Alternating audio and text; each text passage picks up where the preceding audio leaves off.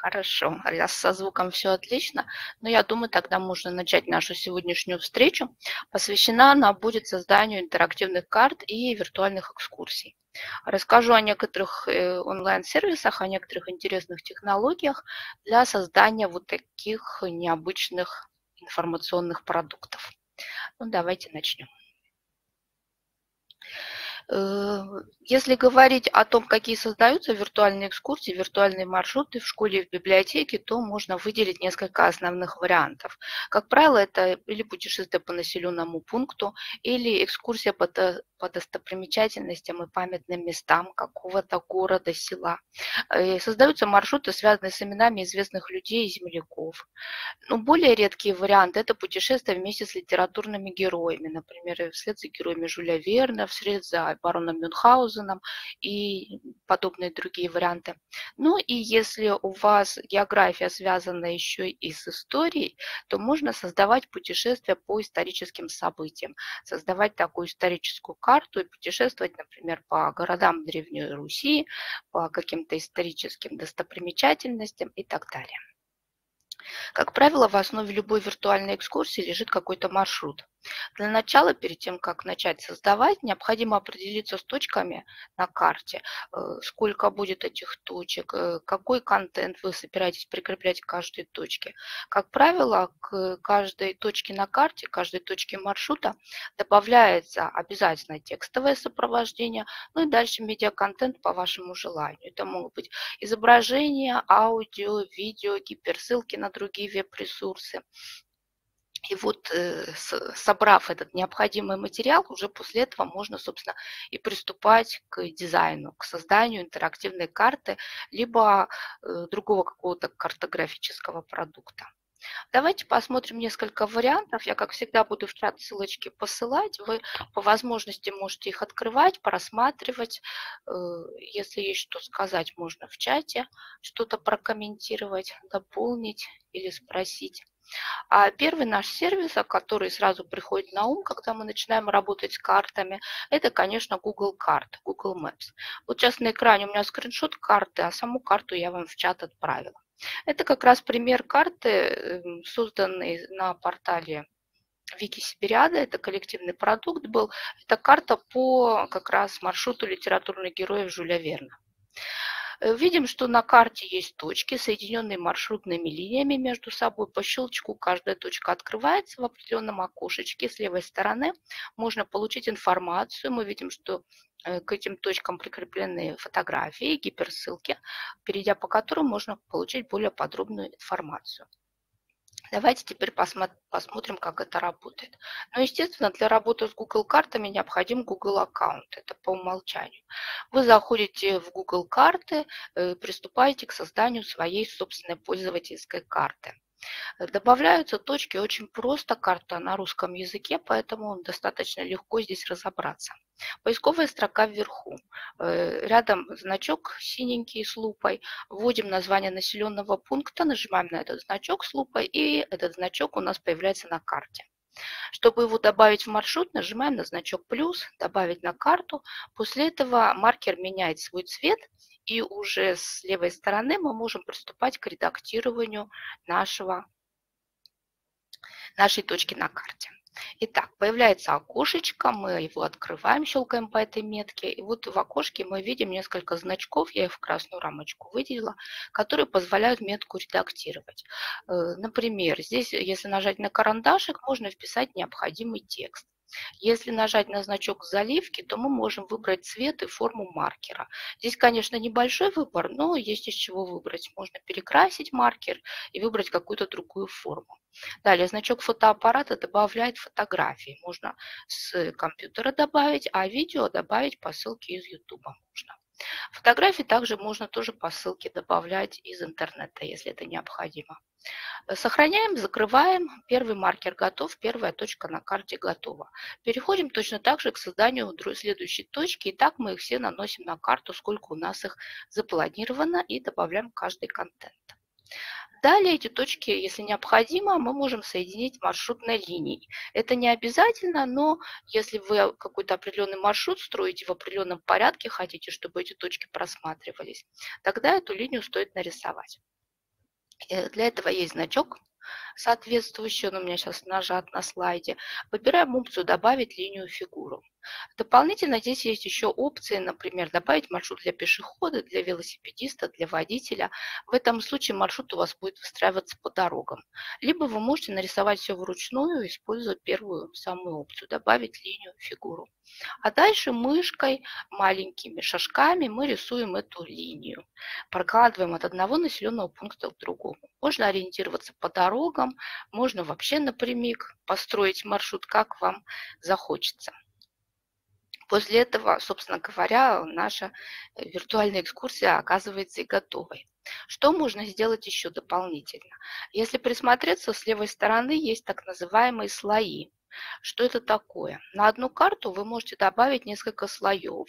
Если у вас, например, а, один населенный пункт, одна местность, но маршрутов экскурсионных будет несколько. Например, на одной карте вы хотите обозначить мемориальные доски, своего города, на другой э, памятники, на парки и на четвертой еще что-нибудь. Но карта будет одна и та же, город будет один и тот же.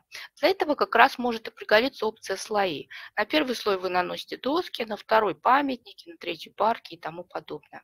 А пользователь может переключаться между этими слоями и просматривать поочередно то одну, то другую экскурсию. И так довольно интересно сразу составить впечатление обо всех достопримечательностях города. Вот таким образом это работает. Еще дополнительно, конечно же, у Google карты есть возможность, как и у всех сервисов Google, пригласить авторов для работы.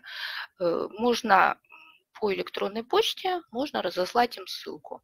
Вы можете регулировать доступ к карте, можете разрешить редакцию, можете разрешить только просмотр. Ну, а вместе с авторами работа пойдет еще быстрее и веселее. Поэтому, в общем-то, Google карты – это хороший базовый материал для создания маршрута любой степени сложности. Подходит и для новичков, и для тех, кто уже хорошо в теме. Э, конкуренты. Яндекс карты. Ну, давайте я вам ссылочку отправлю и немножко прокомментирую от себя. Потому что к Яндекс картам я э, пыталась их освоить недавно, еще впечатления довольно свежие. Вот, пожалуйста. У вас должна открыться карта, пролистайте ее, пожалуйста, вниз. Эта карта как раз многослойная. Там внизу список слоев. Щелкая, щелкая по слоям, вы можете посмотреть э, одна и та же местность. Это город Североморск, Мурманская область. Это как раз карта, созданная специалистами Североморской библиотеки. Там вот как раз то, о чем я говорила, несколько слоев на одной мемориальной доске, на другой улице города и так далее. Можно пощелкать и посмотреть, как это выглядит. Ну, а я скриншот на экране сейчас показала. Если сравнивать с Google картами, то мы увидим, что здесь нет картинок. Здесь есть текстовое описание, есть гиперссылки. И все на этом, пожалуй. Э, немножко скучновато в этом смысле смотрится карта. Можно ли сюда добавить картинки? Я пыталась разобраться, оказывается, в общем-то, можно. Принцип работы здесь абсолютно такой же. Единственное, что нам нужен Яндекс аккаунт, то есть Яндекс почта нам необходима для того, чтобы с Яндекс картами работать. Э, заходим в конструктор карт, э, получаем какую-то базовую карту и точно так же, как и в предыдущем случае, через поисковую строку ищем населенные пункты точки на карте. Добавляем их в маршрут. Щелкаем, открывается окошечко для заполнения. Мы видим, что здесь можно поменять цвет маркера, тип маркера, даже выбрать маленькую иконку. Она будет отображаться внутри маркера, такой маленький значочек. Ну и на этом все. Э, а что делать, собственно, с фотографиями, с гиперссылками? Для этого предусмотрена HTML-разметка. Вставляется это не так, как в Google через кнопочку. Здесь нужно вписать вот такой вот HTML-код. Э, изображение добавляется из интернета, то есть оно должно быть где-то опубликовано. Я нашла фотографию Ярославля, например, и вставила в эту HTML-разметку вот то, что в, в кавычках, это как раз ссылка на мою картинку. А то, что с двух сторон, это тот самый HTML-код. По циферкой 2 у меня гиперссылка. Посредине я вписала слово подробнее, ну а с двух сторон это самая разметка. Для, для непрограммистов, таких как я, довольно сложновато. С этим, естественно, это все не запомнишь. Поэтому я это скопировала из инструкции по Google картам, э, ой, по Яндекс картам. Инструкция будет у вас, если захотите, там эта HTML-разметка приведена, вручную ее набирать, конечно, не придется, но определенные неудобства это создает. Дальше сохраняем это все кнопочкой «Готово». И точно так же можно рисовать линии. Мы видим, что здесь есть линии. Э, опция есть многоугольники. Можно рисовать э, разные многоугольники, можно рисовать разные линии, разной степени изгибистости. Ну вот я взяла Ярослава или Кострому, соединила такой линией. Щелкая мышкой потихоньку, чтобы не наступить ненароком в речку, я вот так вот попыталась это все соединить между собой. Когда маршрут построен, я нажимаю на кнопку «Завершить», и линия у меня сохраняется. К этой линии я тоже могу добавить какое-то текстовое описание, если мне захочется гиперссылку и картинку. Ну, как уже это делается, я рассказала. После этого, собственно, переходим к сохранению этой карты. Карту можно получить э, двух разных типов. Можно интерактивную карту, ну, традиционный вариант именно такой, на сайтах мы видим встроенную. Э, либо это может быть статическая карта в виде картинки. Такой вариант тоже возможен. Если вы хотите распечатать, есть такая же опция для печати. Определяемся с размерами карты и после этого получаем код и ссылку, чтобы встраивать ее на страницу сайта и блока. Но Дело в том, что код у этой карты тоже довольно хитрый. Код дается двух видов. Код э, и фрейм. Ну, если вы вставляли когда-нибудь на сайт и в блоге, то знаете, это такая штука для вставки. И второй вариант – скрипт. Вот если взять код и фрейм, то картинки показываться не будут. А если взять код скрипт, то картинки появятся. Вот у меня на экране как раз вариант со скриптом. Я взяла, вставила в свой блок для эксперимента, проверила. Действительно, картинка открылась. Вот у меня здесь Ярославль, пожалуйста. А если прокрутить ниже, там в конце и гиперссылка тоже будет.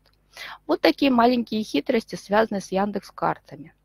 Я пыталась выяснить, можно ли здесь сделать слои. Да, такая опция возможна, но это не для рядовых пользователей. Это только для, для тех, кто хорошо разбирается в интернет-технологиях. Если вы свой сайт подключите к картографическому сервису Яндекс Карты, API Яндекс, вот это вот все подключится у вас, то через HTML-разметку можно создавать слои на карте. Вот я как раз вам дала ссылку на североморскую карту. Это как раз тот вариант, когда сайт подключен к системе Яндекс, и программисты, я так думаю, смогли такую пользовательскую карту создать из нескольких слоев. Вот такая вот история с Яндекс картами.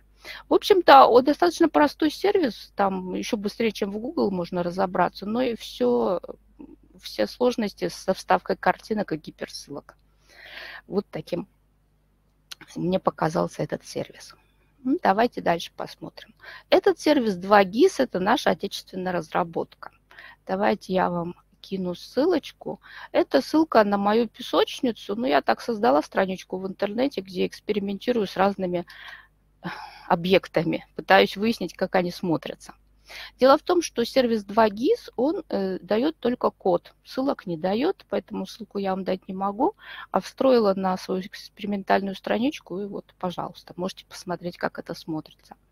Это вот такая очень простая карта, буквально в два клика создается, э, на которую можно нанести точки, нарисовать линии и каждой точке добавить текст. Никаких картинок, никаких гиперссылок. Все очень минимально в данном случае.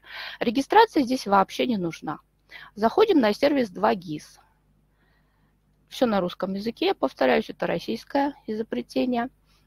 Здесь есть поисковая строка. Вот она у меня сейчас открылась. Правда, она довольно интересная, потому что она не ищет, она просто выдает список выпадающий, из которого вы ищете свои города и достопримечательности. В основном города, конечно же.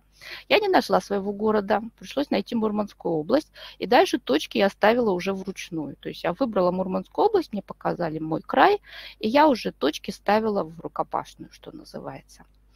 Э, далее метки я добавила несколько штучек. И дальше к каждой метке теперь можно прикрепить содержимое. Нажимаю на метку, с правой стороны открывается такое маленькое окошечко. Можно перекрасить метку, добавляем надпись, то, что появляется на карте, и добавляем описание, то, что появляется по, при нажатии на эту метку. Сохраняем, переходим к следующей.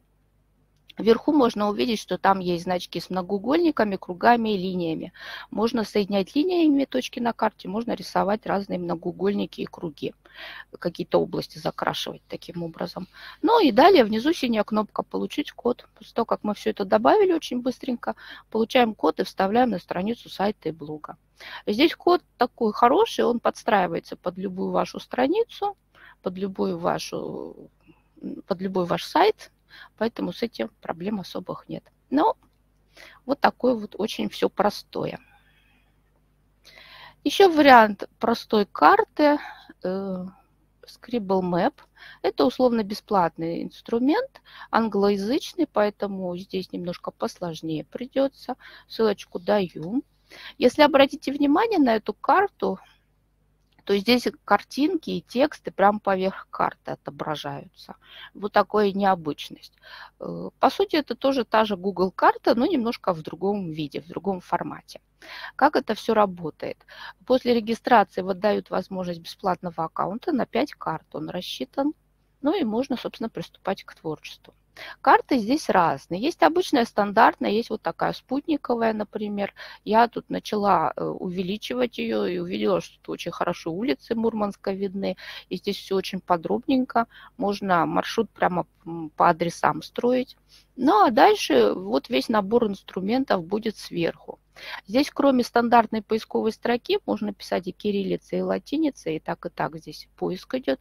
Здесь много еще дополнительных разных инструментов для рисования. Ластики, карандашики, заливки. Можно добавлять картинки к меткам, э, что еще, гиперссылки, естественно, и э, ссылки на э, видео. Да, видео с YouTube можно добавить еще. В общем, э, весь тот же набор инструментов, что и в Google картах, плюс еще возможность рисовать и каким-то образом тут все заштриховывать, подписывать прямо поверх карты можно. Получается ваша собственная уникальная карта с вашим собственным дизайном, так как вы ее видите. Вот. Э, нашла небольшую обучалку, ссылка на нее будет на последних слайдах. Если вас такой вариант заинтересовал для художников, то, пожалуйста, можно им воспользоваться сервис себя позиционирует как инструмент и для начинающих, и для опытных пользователей. Вот. Жаль только, что небольшой тариф всего на 5 карт, а так вполне достойный получается. Ну, а на выходе мы, как обычно, получаем код для встраивания и кнопку э, и ссылку для того, чтобы поделиться. Плюс в разных форматах тут можно ее экспортировать, сохранять и радоваться э, этой карте, представленной в разных вариантах. Ну, вернемся опять к бесплатненькому. Сейчас попробую вам ссылочку такую длинненькую отправить. Это сервис Tripline. Он тоже довольно простой, тоже в нем очень легко разобраться. Тоже всего несколько кнопок. Если вы ссылку сейчас откроете, щелкните по карте Show Map, э, показать карту, чтобы она открылась. У вас примерно должно вот открыться такое, как у меня на слайде. Это экскурсия по Санкт-Петербургу. Мы видим знакомые нам метки, всплывающие окошечки, в которых э, есть картинки и тексты, э, и маршрутные линии проложены. В общем, весь основной набор инструментов здесь присутствует. Э, как здесь работается? Здесь линии рисовать не надо. Линии нарисует сам сервис. Нам нужно только населенные пункты внести и поставить их в определенном порядке. Есть поисковая строка, можно писать на русском языке. Я три населенных пункта выбрала, расставила их в определенной последовательности, и сервис мне тут же нарисовал вот такие варианты маршрутных линий. То есть между озерами, между реками э, такой вот маршрут мне прочертил. Мне вручную это рисовать не пришлось. Если я поменяю точки на карте, то маршрут перестроится, линия будет другая. Дальше, после того, как я эти точки все сохранила, я опускаюсь вниже.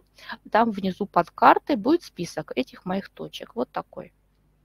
Тут маршрут даже посчитал, сколько это будет в днях, если это идти или ехать. Наверное, все-таки ехать. Вот. Но это не важно. Самое главное – это значки у нас рядом с каждым населенным пунктом. Карандашик и фотоаппарат. Ну, я думаю, вы догадываетесь, для чего они нужны. Карандаш для того, чтобы текст сюда написать небольшой, а фотоаппарат для того, чтобы добавить картинку. Можно не одну, можно несколько. Итак, каждую точку мы сохраняем, заполняем И вот, собственно, карта наша готова. Тоже все предельно быстро делается. Мы получаем и ссылку, и код, можем и на сайт пристроить, и ссылкой делиться э, в социальных сетях, например, или так рассылать по электронной почте. В общем, тоже неплохой вариант для начинающих. Если вы с детьми работаете, например, то что-то простое и быстрое, вот хороший вариант. Ну, теперь уже во второй части перейдем к тому, что посложнее – это сервис э, Time Mapper, ну, от двух слов time – время и map – карта, э, который два в одном. Он, с одной стороны, дает нам интерактивную карту, а с другой стороны – ленту времени. Например, вот в данном случае это искусство Древнего Египта. Тут разные достопримечательности собраны, которые датированы разным временем и, на, и найдены в разных местах мира, скажем так. Вы можете листать эту карту как карту по точкам, можно как слайды листать, есть тут стрелочки, и внизу еще временные отсечки, можно по ним листать. Три разных вида э, просматривания. Ссылка тяжеловатая, если у вас, может быть, сразу не откроется, то можно ее сохранить потом. Если прикрыть окошечки, может быть, тогда она откроется. Тяжеловато идет ссылка, но это за счет того, что здесь очень много контента. Этот э, сервис работает на Google аккаунте. То есть, опять-таки, нам нужен Google аккаунт, без него никуда. И в основе опять Google карта, естественно, лежит. Ну, давайте смотреть, как это работает. Заходим на сайт, и нам дают шаблон, который нужно заполнить. Сервис на английском я постаралась э, подписать э, стрелочками, как-то буковками. Сейчас расскажу, что и что в двух словах. Берем эту ссылочку. Это ссылка на шаблон. Сохраняем у себя ее в Google диске. Она у нас будет храниться. Ну и дальше открываем ее у себя уже на Google диске. И можно ее редактировать. Должна открыться вот такая табличка. Это я ее разрезала на две части, чтобы она мне на слайд уместилась. На самом деле она длинная такая. Э, Google таблица или Excel таблица которую нужно заполнить, и на основе этой таблицы будет генерироваться наша карта и наша лента времени. Ну, давайте по порядку. Первое поле, начиная от A. Title, э, название. То есть это подпись, которая будет на слайде большим крупным шрифтом. Что-либо называю, как-то, в общем, надо назвать. Либо это название метки, либо это название события. Тут уже решайте сами. Дальше, start и end. Это дата начала событий, дата окончания. Начало обязательно, окончание по желанию. Если вы не знаете, когда событие закончилось, то и не надо, можно пропустить. Дальше, description. Здесь понятно, здесь мы вписываем текст, описание, который будет виден на слайде. То есть, если у нас там какая-то личность, то здесь может быть биография этой личности, например. Далее, раздел Image – это для картинок. Сюда мы можем ставить картинку, но э, ссылкой. То есть берем ссылку, ну в данном случае здесь картинка с Википедии, например. Э, опубликованная в интернете картинка, сюда мы вставляем ссылочку. Вот. Это основные поля для слайда. Э, это вот временные отсечки, это вот сам слайд. А чтобы у нас получилась карта, нам нужно из оставшихся полей заполнить только одно, по сути. Это поле называется location, географические координаты. Мы их знаем как широту, долготу, а вот здесь они в режиме вот в таком вписываются. 43.4586 и так далее. Это определенное географическое место, точка на карте. Где ее взять? Эти географические координаты. Э, я их беру в Яндекс картах. Захожу в Яндекс карты, набираю там какое-то место, ну, город Москва, например. И тут же, э, щелкнув по этой метке, я получаю рядышком с городом Москвы вот эти длинные координаты. Копирую и вставляю в поле location. Все остальные э, поля, они не обязательны для заполнения, и их можно просто пропустить. Последние два поля, SOS и SOS URL, это у нас источник если вы эту информацию, допустим, с Википедии скачали, то стоит указать, что источник Википедия, и можно даже ссылочку дать. Последнее поле SOS.URL. Вот туда. Ну, собственно говоря, вот готово. Э, единственное, что мы сразу не увидим, что у нас получилось. Пока мы все точки не заполним, пока все метки не прикрепим, не, не впишем и не сохраним, пока мы только видим табличку. Потом обязательно нужно сохранить это все и опубликовать в интернете. Вот так это делается, я думаю, вы знаете. Через э, вкладку «Файл» публикуем нашу вот эту большую таблицу в интернете. Берем на нее ссылку, И идем обратно на сайт, с чего мы только начинали. Вставляем, вот э, там я показывала вам окошечко, откуда мы брали шаблон, стираем этот шаблон и вставляем свою ссылку. После этого нам сервис генерирует нашу замечательнейшую виртуальную экскурсию, оно же лента времени. Дополнительно к этой виртуальной экскурсии можно немножечко опуститься чуть ниже и посмотреть, какие еще дополнительные опции есть. Ну вот я сейчас в красной рамке вынесла как раз, куда нужно будет вставить нашу готовую ссылку. Э, в разделе Title мы ее как-нибудь озаглавим, нашу карту. Здесь разные опции есть, например, как показывать даты э, по-европейски или по-американски. Выбирайте тот вариант, который вам нравится. По умолчанию стоит обычный европейский день, месяц, год. Можно выбрать и показывать только карту, только денту времени или только слайды. Выбираем тот вариант, который нравится, но по умолчанию Time Map. И то, и другое. И карту, и, и временные отсечки. И обязательно нажимаем Publish. После этого у нас готова уже сгенерированная э, карта, она же виртуальная экскурсия. Э, смотрим, если какая-то картинка не прогрузилась, значит неправильно на нее взята ссылка. Ну, в общем, нужно еще раз проверить. Э, в любом случае у вас эта табличка сохранится на вашем Google диске, вы всегда можете к ней вернуться, ее отредактировать. И можете новые слайды туда добавить, например, новые временные отсечки и таким образом она у вас будет долгоиграющей. Ну и плюс, естественно, поскольку это Google таблица, вы можете пригласить соавторов к работе и вместе с ними работать. Еще один сервис Easy Travel. Ну вот о нем, наверное, говорить много, может быть, и не стоит. Я думаю, все о нем слышали, а может быть, даже что-то и создавали. Но для тех, кто не слышал или подзапамятовал о чем это, я все равно несколько слов скажу. Ссылочку дала на Easy Travel. Ну, вот он сейчас на экране у меня это. Это простой очень маршрут, можно к столице Арктики, то, в чем я принимала участие непосредственно. Тут и голос мой, и текст мой. Вот. Это обычный маршрут по карте, озвученный. Easy Travel – это сервис для создания аудиогидов. Причем он ориентирован не только на компьютерные просмотры, но и на мобильное устройство. Поэтому есть предложение Easy Travel, его можно скачать себе на телефон и просматривать с телефона маршрута. Э, все маршруты, как правило, вот имея там по карте, они предполагают достопримечательности, какие-то точки на карте, вот они пронумерованы. И плюс к каждой этой точке прикрепляется небольшой аудиофрагмент, фотография текстовое описание. Плюс эти точки на карте можно соединить в линии, и добавить еще навигационные истории, которые помогут туристу с мобильным устройством двигаться по этим точкам. То есть смотреть можно сейчас так, как мы смотрим, просто щелкая по меткам или перелистывая вот эти вот кнопочки. А можно через мобильное устройство выйти прямо на эту местность, включить мобильный телефон с аудиогидом, и он по ходу вашей экскурсии будет включаться и рассказывать вам информацию, которая вот в каждой точке зашифрована. Если мы первый вариант создаем просто для компьютера, то достаточно просто точек. Если мы хотим еще для мобильных устройств сделать э, аудиогид, то нам нужны линии на карте и навигационные истории. Вот давайте я вам расскажу немножко об этом. Здесь вариантов тура два. Уличный тур и квест. Квест – это отдельная история. Мы сейчас про уличные туры поговорим. Выбираем поэтому такой формат. Сервис, как мы видим на русский язык, он очень простой, и все окошечки конструктора очень похожи друг на друга.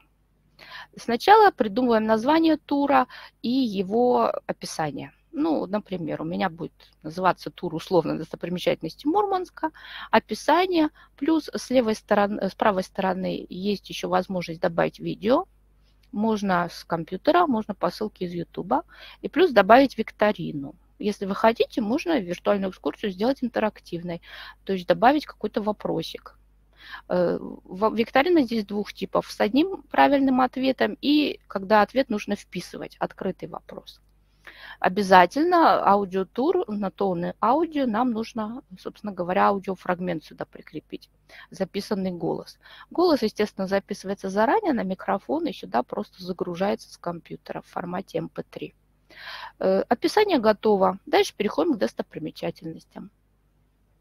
Карта знакомая нам Google карта, все то же самое.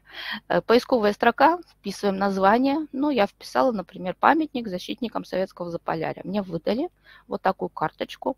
Я нажала на кнопочку «Добавить в тур», и первая маршрутная точка у меня готова.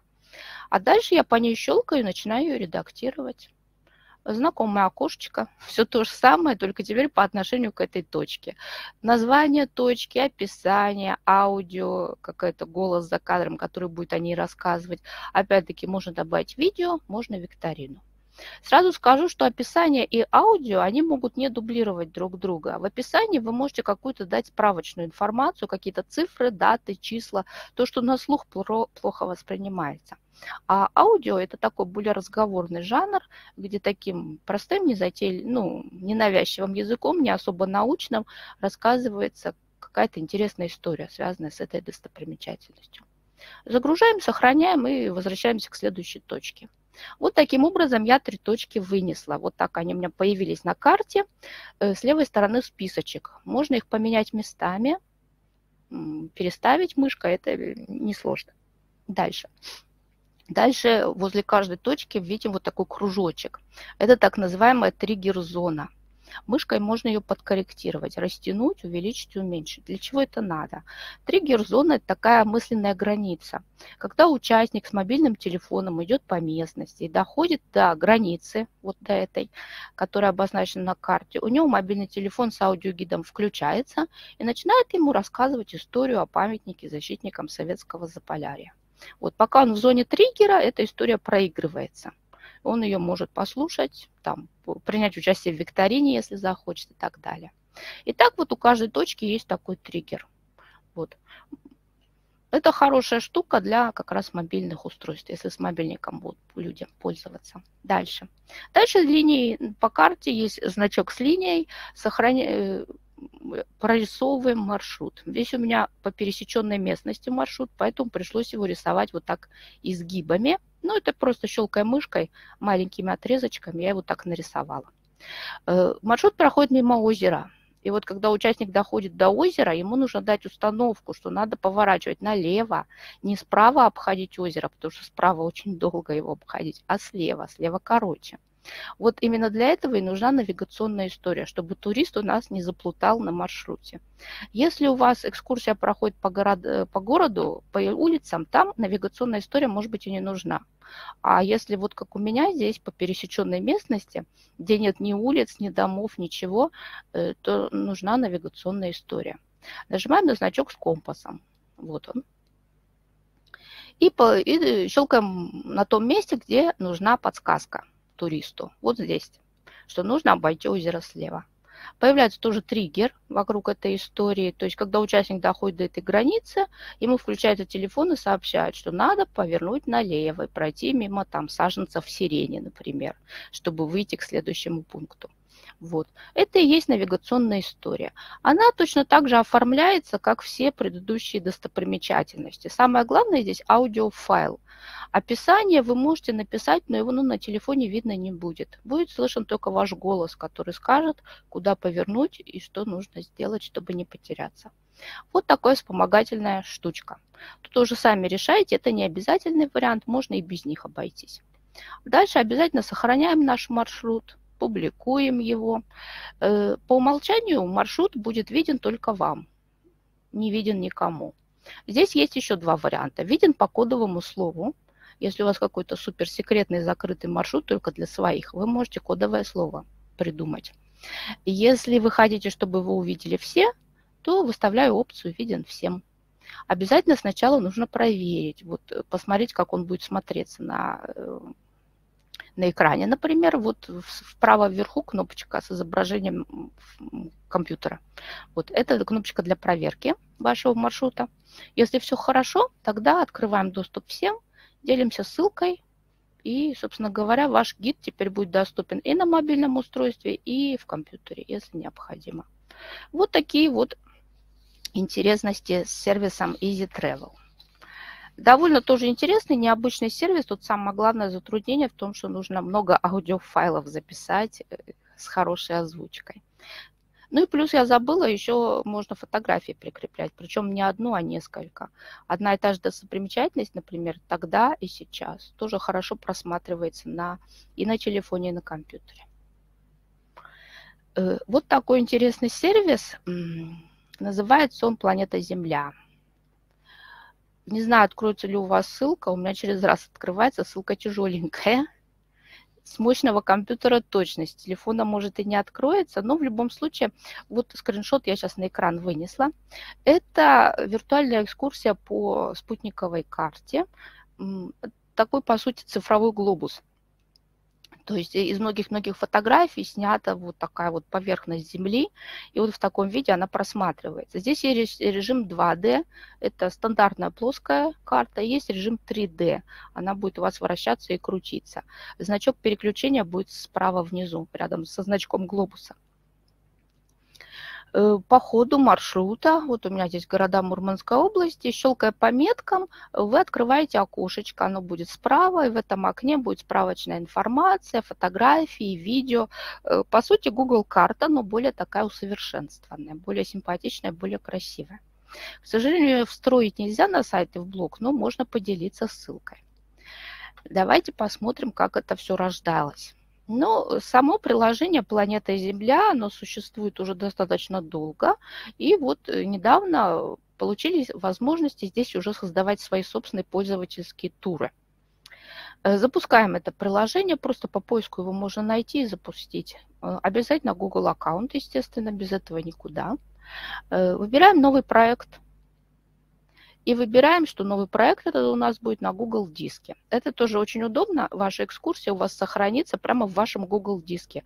И вы всегда можете к ней зайти, зайти в нее. Не надо ни на какой сайт идти, а просто заходим в Google диск, и там мы открываем его, этот маршрут. Ну, а дальше, как обычно, придумываем название нашему туру, придумываем ему описание, обложку можно к нему загрузить и перейти к дополнительному добавлению объектов. Э, из опций выбираем «Добавить метку». Здесь можно рисовать линии, но нам вариант нужен про метки. Ну и, собственно говоря, через поисковую строку начинаем искать. У нас закрутится вот такой глобус, а в поисковой строке мы будем вписывать название населенного пункта, например. Google карта подробная, можно и достопримечательности, адрес сюда вписать. Ну вот я попробовал Санкт-Петербург поискать. Он мне нашел сразу его, вот так, и даже вывел мне и справку о нем, и картинки красивые, и подробную информацию, если нажать. Эту информацию, конечно же, он взял из Google карт. Вы можете ее вообще оставить и не редактировать, но если необходимо, ее всегда можно изменить.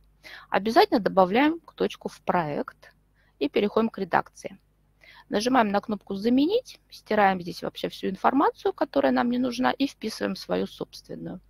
Внизу мы видим, что здесь можно метки поменять, можно им цвет выбрать, размер.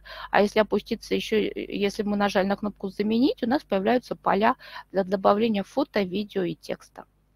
Э, фото и видео добавляются из расчета 25 э, объектов. То есть в сумме их должно быть 25. довольно много все-таки. Э, и в общей сумме видео добавляется с YouTube, картинки добавляются с компьютера, например. Текст можно редактировать и внутрь добавлять гиперссылки. Вот так каждая метка у нас э, сохраняется. Переходим к следующей и наносим их на карту. Я свои метки линии не соединяла, но если необходимо, ее можно нарисовать. Опять э, в разделе редакторе э, выбираем опцию «Нарисовать линию фигуру» и мышкой, как мы раньше это в Google картах делали, точно так же рисуем линии маршрута. Соединяем. Ну, я вот взяла просто напрямик нарисовала. Вообще можно, конечно, по дороге было это сделать. Каждой линии на карте, вот к этой, например, вы можете цвет 25 э, к одному объекту. Нет, не ко всему проекту, к одному объекту 25. Э, к этой линии можем добавить картинки, описание, тексты, видео. То есть у нас еще каждая линия может нести какую-то информацию. И так мы вот точки все соединили между собой. Собственно, на этом все. Экскурсия у нас готова, мы получаем ссылку на нее и можно делиться. Дополнительно здесь можно выбрать вид карты. Вот самая красивая, на мой взгляд, это исследователь. Вот такая вот спутниковая. Но есть еще просто Земля. Например, здесь немного вариантов. Можно пощелкать и посмотреть, как ваша карта будет в разных видах выглядеть. Ну, после того, как все готово, нажимаем на значок с плюсиком «Поделиться». Это одновременно кнопка, которая приглашает авторов. Можно совместно ее редактировать, эту карту. А можно поделиться просто ссылочкой. Вот так это делается. Вверху окошко для соавторов. По электронной почте их приглашаем. А внизу обязательно разрешаем доступ всем, у кого есть ссылка. И копируем эту ссылку. Проект у нас готов, и теперь можно его распространять. Очень красиво, очень необычно все это смотрится, большое количество возможностей. К сожалению, только тяжеловато открывается. Вот единственный недостаток, который здесь есть. На слабеньких компьютерах может не сразу открыться. Еще один вариант тоже довольно такой интересный сервис, но с запутанной навигацией. Чтобы в нем разобраться, пришлось, конечно, поломать голову, хотя он на русском языке. Он немножко сложноватый, но интересный. Вот так я бы сказала. Эм, про Easy Travel вопрос. Можно там редактировать, заменять аудио и фото. Вы можете удалить одну фотографию или одно видео и загрузить второе. Так можно. Если вы хотите обрезать, допустим, фотографию, то нет, такой опции нет редактора. А удалить один контент, заменить другим, да, вы можете в Easy Travel менять все, что захотите. Оно всегда у вас в личном кабинете, вы можете редактировать столько, сколько захотите. Argis Online называется этот сервис. Вообще он платный, но для некоммерческого использования они предоставляют бесплатный аккаунт и замечательно называется он Argis Public Account. Найти его сложно в самом низу, но я его нашла, вот в красной рамке вынесла. Э, после регистрации нам предложат карту. Карта вот так выглядит. Э, с левой стороны все подсказки. Собственно говоря, вот инструкция. Тут особенно рассказывать не надо, тут все по пунктам расписано. Но я просто покажу на слайде, как, как это работает. Для начала нам нужно проставить точки, потом соединить их, как всегда, линией, э, к каждой точке прикрепить какой-то контент. Ну, в общем, стандартный вариант. Смотрим. Во-первых, можно определиться с типом карты. Здесь более 20 разных типов. Здесь есть карты рисованные, черно-белые, топографические, карты океанов, современные. В общем, 20 штук самых разных типов. Выбираем. Вот это, например, у меня сейчас рисованная. Вот такая вот смешная бело-желтая карта. Вот. Пощелкаем, выбирали тот вариант, который нравится, можно работать. Идем дальше. Здесь немножко э, история более длинная, нам нужно добавить слой. Здесь, как и в Google картах, можно составлять несколько слоев. И нам просто нужно добавить первый слой. Ну, он внизу. Добавить слой примечаний к карте. Вот этот нам нужен вариант. И в этот слой мы сейчас будем добавлять достопримечательности. Слоев здесь может быть несколько, и можете многослойную карту создать, если захочется. Ну, хотя бы один попробуем заполнить. Э, дальше, вот мы его добавили слой, мы его как-то назвали и нажали на кнопку «Создать». Все. Теперь внутрь этого слоя мы будем добавлять метки. Метки тут разные. Есть вот такие булавочки, есть кнопочки, есть крестики просто. Их можно перекрасить, видоизменить. Ну, берем хотя бы булавочку, например, втыкаем его в нужное место. Это наша точка на карте. Э, заполняем поле title, это у нас название, Description – это описание, а image URL – это ссылка на картинку. Картинки нам э, э, должны быть опубликованы в сети интернет. По ссылке из интернета добавляем. Сохраняем это все, нажав на кнопку «Закрыть», и после этого метка у нас готова. Здесь есть кнопочка «Изменить символ». Например, эта булавка нам не нравится, мы хотим какой-нибудь другой, поэтому мы открываем «Изменить символ» и видим, что здесь... Ой, Символов довольно много. Ладно, я чуть позже покажу вам эти символы. Вот у нас первый вариант. Просто вручную поставили точку. Если вручную искать сложно, можно воспользоваться поисковой строкой. Нашли, например, город Кировск в Мурманской области, открыли и по нему щелкнули. У вас метка появится автоматически. Ну и точно так же по ней можно щелкать и ее менять. Вот. Обязательно, когда мы добавляем метку, спрашивают у нас постоянно, какому слою вы хотите добавить. Если у вас слой один, то один будет. Если у меня, допустим, их было три, то выбирать надо еще из трех. Ну, в общем, добавили мы метку совместными усилиями. Вот так она будет в заполненном виде смотреться. Э, текст, ссылка внутри, прямо внутри текста у меня будет ссылка. Ну и ссылка на картинку. Вот. Что касается изменения символов, вот, пожалуйста, вместо стандартной этой булавки или метки можно добавить вот такие красивые картиночки. Домики разные, солнышки, облачка и так далее. Здесь огромное количество разных меток. Здесь и посерьезнее есть, и для бизнеса, и для картографии, и для отдыха на природе. В общем, любой каприз. Можно свою собственную метку загрузить, если она у вас есть. Сохраняем. Ну и так от метки к метке мы двигаемся. Их можно перекрашивать, выравнивать. Поверх карты можно писать текстовые надписи, если это необходимо, например. Ну и рисовать, естественно, линии. Линии могут быть прямые, маршрутные, можно рисовать прямоугольники, многоугольники и так далее. Каждой линии, каждому этому многоугольнику можно стандартно добавить описание, картинку и, и гиперссылку, если хотите. Э, сохраняем, закрываем. Вот так у нас создается карта. Аргиз, э, ну, в общем, по, по сути, да, получается вроде как дублирование Google карты. Но Аргиз пошел немножко дальше. Они на основе этой карты предлагают делать презентации. Я как раз ссылочку вам дала на презентацию. Как это все делается? Ну вот, берем мы ссылку на карту и делимся. А если нам нужна презентация? Э, переходим в режим презентации. Этот режим доступен после того, как у вас уже есть одна какая-то сохраненная карта. И дальше нажимаем на кнопочку плюсик и начинаем добавлять слайды в нашу презентацию. Одна достопримечательность – это один слайд. У вас открываются все ваши слои, которые вы создали на карте, и вы из, из нужного слоя просто добавляете, щелкаете, какая достопримечательность вам нужна. Можно все, экспортировать, можно выборочно, как хотите. Итак, э, слайд за слайдом мы просто переносим их с карты в нашу презентацию.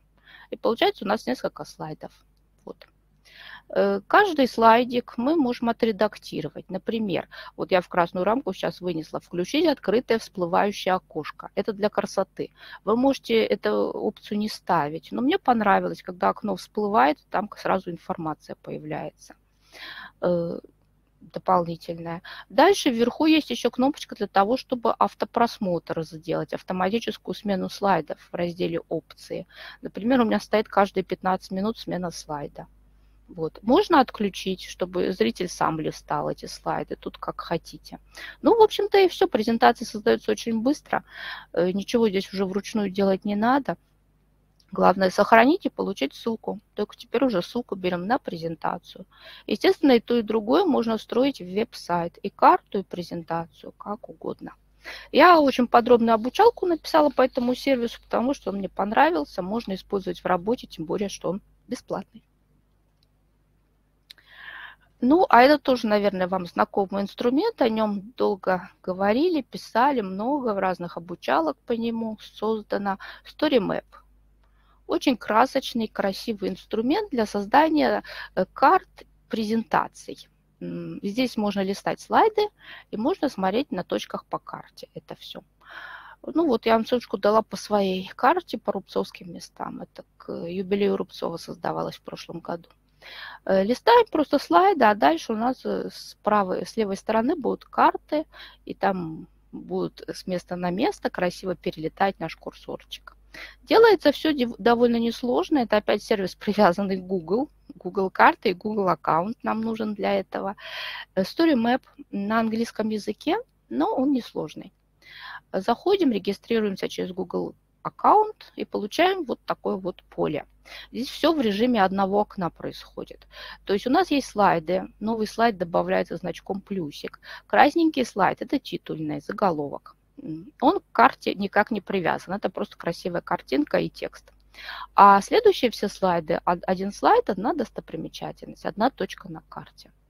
Э, у карты две, э, два вида просмотра. Edit – это редактор, Preview – это предварительный просмотр. Ну, мы сейчас в режиме Edit. Э, вверху вот такое вот подобие карты, в котором мы будем ставить точки. Чуть ниже – это для медиаконтента поля.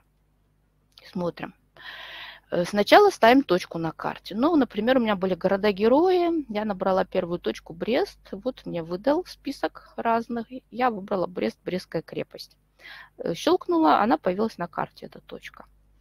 Э, далее я начинаю заполнять все остальные поля. Медиа. Я могу загрузить картинку, можно ее добавить ссылкой. из интернета. Дальше. Картинке нужна подпись и описание. Если нужны, то подписываю имя автора, описание этой картинки. Дальше. А вот с правой стороны будет у меня текстовое поле, в которое я буду вписывать текстовую информацию. Здесь можно шрифтом немножко поиграть, добавить гиперссылку, если необходимо. Э, не все шрифты здесь поддерживаются, к сожалению. Кириллица здесь не самый э, самый простой шрифт. Но тем не менее, можно немножко там поэкспериментировать. Записываю текст, сохраняю и перехожу к следующему слайду. Вот так одна точка, а, один слайд на карте. Они и сохраняются. После этого я в предварительном просмотре могу все посмотреть, ну и, естественно, получить еще и ссылку. Дополнительно, э, для красоты слайдов можно каждому еще добавить фон Э, разного рода. Можно просто цветом залить. Можно фоновый рисунок добавить. Но так, чтобы был виден текст. Это важно. Э, файлы выбираются с компьютера, загружаются для фоновой картинки. Сначала загружаем, потом нажимаем Upload. И после того, как все добавилось, закрываем это поле, переходим к следующему слайду. Так можно их еще дополнительно оформить. Ну, после того, как все готово, в предварительном просмотре тоже все смотрится симпатично, мы э, выбираем опцию настройки. Если необходимо, можно немножко понастраивать. Сохраняем, опубликовываем изменения, если какие-то есть. И дальше уже будем переходить к кнопочке Share. Она у нас с правой стороны в самом углу. Немножко об опциях дополнительных. Э, здесь, во-первых, можно выбрать э, шрифт. По умолчанию какой-то стандартный будет шрифт, можно попробовать какой-то еще выбрать. Обязательно посмотреть, как он будет отображаться в кириллице. Здесь можно написать э, кнопку титульного слайда. По умолчанию она будет называться «Начать просмотр». Но если вам такой вариант не нравится, можно свой текст вписать. Ну и выбрать тип карты. Черно-белая она будет или какая-то другая. Здесь несколько типов, можно поэкспериментировать. Ну, естественно, поставить русский язык, чтобы надписи были на русском языке в этой карте. Э, собственно, все, сохраняем, нажимаем Close. Через кнопку Share делимся. Есть и ссылка, и код, плюс вы еще можете с авторов подключить к работе над этой картой. Можно свои метки для карты загрузить, да. Можно свои метки, но э, они определенного должны быть стандарты, не очень большие, э, иначе они будут не очень симпатичны. А так, в принципе, да, если вы свои метки подключите, будет еще интереснее. Есть такая возможность. Вот. Это что касается разного рода интерактивных карт. Но на самом деле виртуальные экскурсии, я думаю, они не, не исчерпываются только вот непосредственно картами. Например, вы хотите виртуальную экскурсию по библиотеке создать или по выставке какой-нибудь. Э, то есть внутреннее помещение. Тогда нам карта здесь будет просто уже не нужна. Если такие виртуальные экскурсии вы планируете создавать, то вам нужны фотографии. Например, вот ссылочка, пожалуйста, фотография выставки, по которой я, например, хочу создать виртуальную экскурсию. Вот она на слайде перед вами. Этот формат называется интерактивный плакат. То есть мы загружаем фотографию выставочную, допустим, и на ее основе с помощью интерактивных меток прикрепляем к ней разное содержимое. Например, щелкая по этим меткам, можно посмотреть более подробно какие-то фрагменты экспозиции, э, перелистать книгу, где-то ссылки на электронную библиотеку, можно почитать эту книжку. Если тут предметный ряд, то щелкая по значкам, можно более подробно посмотреть, что там за предметы представлены. Здесь есть ссылки на видео, можно посмотреть буктрейлер, например, по книге. И, и, и, и, и все это делается с помощью сервиса Genially. Я покажу одну из его возможностей. На самом деле это такой многогранный сервис, что о нем можно не один вебинар проводить. Я расскажу только о самом на мой взгляд, простом инструменте в этой наборе называется интерактив имидж. Интерактивный плакат, интерактивная картинка. Регистрация здесь простая по адресу электронной почты, сервис бесплатный для некоммерческого использования. Часть э, шаблонов здесь, конечно, платная, но вот о котором мы сейчас будем говорить, это все бесплатно. Выбираем опцию «Интерактив Image», загружаем картинку. Мы ее загрузили. Теперь наносим на нее вот эти метки интерактивные. Делается это через кнопку Interactive Elements. Здесь у нас целый список этих кнопочек разных. Их можно перекрашивать, видоизменять. Э, щелкаем и переносим их мышкой на нужное место. Ставим. Если щелкнуть теперь на эту кнопочку, то появится еще две. Одна называется Interactivity, вот такая ладошка – А вторая комета – это animation, анимация. Нам пока понадобится интерактивити. Щелкаем по ладошке, открывается вот это. Это окошечко для добавления интерактивного контента, который будет появляться при нажатии на эту кнопку. Тут три типа есть. Tool тип – это просто всплывающее окошечко. Если вы просто какую-то маленькую надпись хотите прикрепить к этой метке. Если у вас много контента, вот как у меня, например, здесь какой-то текст, еще картинка, может быть, я еще и видео потом прикреплю, то тогда выбираем раздел Window, окошко тогда у вас откроется вот такое большое поле, в которое можно вносить весь-весь-весь контент, который у вас есть. Ну и, наконец, кнопка Link, самая последняя, это будет интерактивная кнопка, которая поведет на какой-то сайт. Например, на сайт вашей библиотеки или там на какую-нибудь электронную библиотеку, где можно книжку эту почитать. Э, давайте на Windows посмотрим, потому что это основной вариант здесь. Вот это окошечко. Сюда вписываем текст. Можно выбрать шрифт, размер, отцентровать, э, сделать что-то жирным шрифтом. Э, дальше в красной рамке я вынесла э, разный медиаконтент. Гиперссылки, можно прямо внутрь текста их вставить, картинки, таблицы, видео и самое последнее такие косые скобки. Это для добавления встраиваемого контента. Ну, что я имею в виду? Например, у вас есть какая-то аудиозапись, и вы на нее получили код – она у вас опубликована в интернете, у вас есть код для этой записи, и вы хотите ее сюда вставить. Это можно сделать через вот эти как раз косые скобки. Нажимаем на эти скобочки, и открывается HTML-разметка. Вот так она выглядит. Я хочу этот код вставить вот в это вот место. Вот здесь у меня написано, что стихотворение читает тот-то и тот-то, а дальше я хочу вставить этот код с записью этого стихотворения. Копирую, вставляю. Вот э, здесь он вставляется, вот этот самый iframe, вот он вставился синий, синим цветом, он сейчас выделен. Вставила. Второй раз нажимаю на косые скобки. У меня появилась здесь аудиозапись. Все, она теперь есть.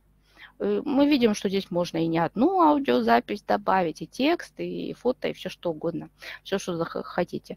Таким образом, вы можете вставлять видеоролики, ну, естественно, все это опубликовано в интернете, игры, викторины, все, на что у вас есть код для встраивания. Вот таким образом это все работает. Обязательно сохраняем сейв и переходим к следующей метке. Итак, метка за меткой мы заполняем всю нашу фотографию. Таким образом, получается маленькая виртуальная экскурсия. Есть еще у этого сервиса возможность создать многостраничную экскурсию. Если у вас несколько залов, несколько экспозиций, вы можете добавить новую страничку э, и перейти к новой экспозиции, соединить их вместе между собой интерактивной кнопкой, и таким образом будет многостраничная экскурсия. Э, я не сказала про анимацию, вот про эту падающую комету. Она здесь тоже довольно интересная. Э, можно все эти интерактивные метки заставить как-то двигаться. То есть они будут появляться, исчезать, там, мигать. Если вам это интересен, этот вариант, выбираем опцию Animation и просто из списка выбираем нужную анимацию. Здесь есть на вход, на выход, на движение и на прикосновение мышки. Вот. Выбираем тот вариант, который вам нравится. Можно, например, поставить зум на прикосновение мышки. То есть наводите на нее курсорчик, она метка это увеличивается. Если вам это не нужно, то просто пропускаем эту анимацию. Обязательно нажимаем на кнопку Share поделиться, получаем код и ссылку. Можно встраивать и на сайты, и в социальных сетях делиться. Ну, осталось совсем немного осталось у нас еще два интересных инструмента. Об одном из них я уже говорила на отдельном вебинаре. Сейчас только вкратце напомню, что это сервис Удоба. Очень хороший бесплатный инструмент, который тоже позволяет создавать интерактивные плакаты. Э, примерно в таком же духе, как и Genial. Правда, без анимации. Загружаем картинку. Ну вот у меня, например, карта здесь загружена в виде картинки улицы Петербурга. Э, вам я немножко другую дала ссылочку, но принцип такой же. Нажимаем на метки, открывается вот такое интерактивное содержимое. Картинки, гиперссылки, тексты и даже видеоролики. Смотрим. Э, нам нужна фоновая картинка, опять-таки, это может быть зал вашей библиотеки, какая-то выставка, экспозиция, все что угодно в качестве фона. Э, далее на, выбираем иконку какая она должна быть, синяя, фиолетовая, там, какого цвета, с каким плюсиком она будет. Выбираем ее тип, и дальше переходим к добавлению метки. Э, ставим метку в картинку в нужное место. Картинку можно увеличить через значок лупа.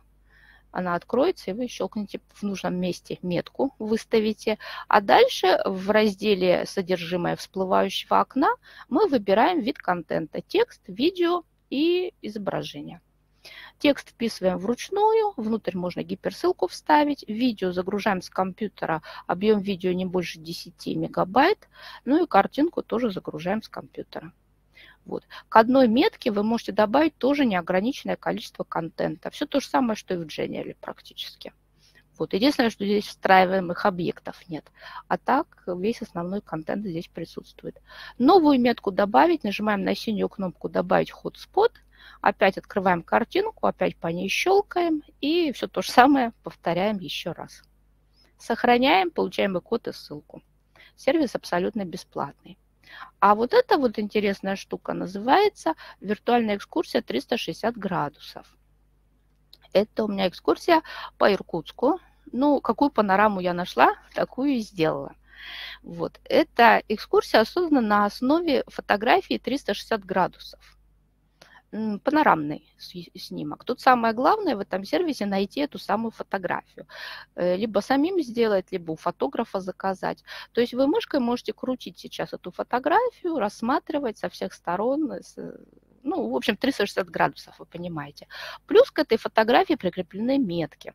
Если вы откроете ее в полном экране сейчас, то там внизу есть кнопочка в левом углу э, с таким аудиозвуком. Здесь есть фоновая музыка, она звучит. Это из фильма Леонида Гайдая. Это вообще памятник Леониду Гайдаю. Вот. И плюс еще несколько интерактивных меток с дополнительной информацией. Здесь и фото, и тексты, и аудио. Работает это так. Загружаем нашу 360-градусную фотографию. Пока она будет не очень красивом виде, ну вот я взяла э, с Мурманском, экспериментировала, загрузила, вот так она смотрится.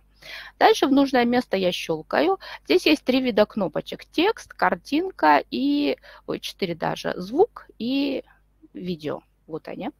Э, выбираю нужную из них, из этих четырех, и щелкаю в подходящем месте. Появляется вот такой значок плюсик. Нажимаю на карандаш, открывается поле, куда я могу добавить эту самую картинку, этот самый текст или видео-аудио загрузить. Загружается все с компьютера. Заполняю метку. Плюс к метке можно добавить еще надпись. Она будет рядом с меткой. Ну, я вот добавляла надписи рядом с этим. И после этого сохраняем, закрываем и следующую переходим. Дополнительно, если у вас таких панорамных снимков несколько, можно добавить значок плюс новая сцена. И тогда перейти уже к новой панораме и сделать то же самое. Между собой панорамы можно соединить значком вот птичка. Она будет слева в самом верху. Вот. Это как раз значок для перехода между разными сценками. Это очень интересно, очень э, э, любопытный получается продукт, но единственный недостаток 360 градусные фотографии, где их взять в хорошем качестве, я имею в виду. Вот. Но если вы умеете их делать или у вас есть знакомые фотографы, то получится очень интересные виртуальные экскурсии. Например, можно по библиотеке такое сделать, где можно оглядеть со всех сторон весь зал, подойти ну, виртуально к выставке какой-нибудь, ну и получить дополнительную информацию об этом. Так что вот рекомендую, мне очень понравился. Ну и последний инструмент, это тоже э, для 360-градусных фотографий, но уже англоязычный вариант, называется SIGBIG.